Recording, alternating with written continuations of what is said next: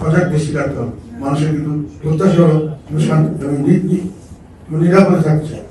Second হলো আপনার finance মিনিস্ট্রিকে দেখবেন, যেহেতু ফাইন্যান্সের অবস্থা অত্যন্ত খারাপ, ওটা দিকে সবকিছু নিয়ন্ত্রণ করতে হবে ফাইন্যান্সের অর্থনা করতে হবে। থার্ড বলেছিলাম কমার্স মিনিস্ট্রি এটাকে কিন্তু খেয়াল রাখবেন। দ্রব্যমূল্যের উদ্যোগতি হলে মানুষের চায় মানে যেন খাওয়া দাওয়া পায় আর নিশ্চিত ঘুমাতে পারে, নিরাপত্তা থাকতে পারে, তাহলেই মানুষের অনেক কিছু বলে যেতে বলে যেতে পারে। এখানে কিন্তু ওনারা আমার মনে হয় কমার্স মিনিস্ট্রিকে সেইভাবে গুরুত্ব দেননি। কমার্স মিনিস্টার সেরকম কোনো অভিজ্ঞ বা লোকও দেননি বা এককভাবে কমার্স মিনিস্টার আমার কোনো লোক দেননি। আমি মনে করি এখানে ওনাদের একটা দৃষ্টি দেওয়া উচিত এই মধ্যে মানুষের দ্রব্যমূল্যের উদ্যোগতি এবং এটাতে মানুষ কষ্ট আছে এবং এটাতে ওনাদের জন্য পরিস্থিতি একটু কিছুটা হলো মানে খারাপের দিকে যাচ্ছে বলে মনে।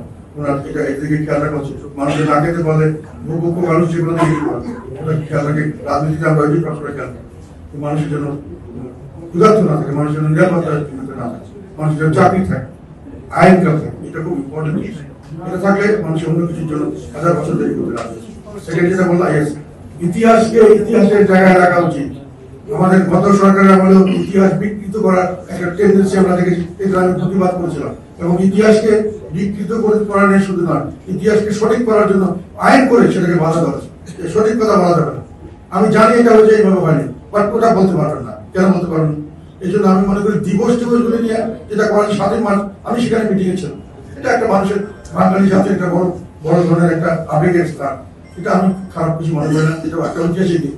এবং সেটা ছাড়া উনি কিন্তু স্বাধীনতা ঘোষণা দেয়নি আমরা গেছিলাম যে উনি স্বাধীনতা ঘোষণা দেয় এই আশা কিন্তু মাঠের রঙ বইয়ে করছিল স্বাধীনতা ঘোষণা দেয়নি কাজেই ওটার জন্য তাই, যাই হোক, তাই হোক ওটা একটা স্টিকার যে ওটাকে অবমূল্যায়ন করা আন্তঃসরকারের মাধ্যমে